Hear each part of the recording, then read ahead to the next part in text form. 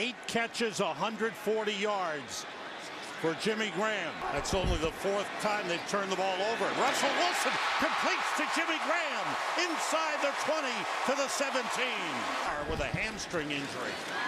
Wilson gets time and throws to Jimmy Graham down to the 20-yard line.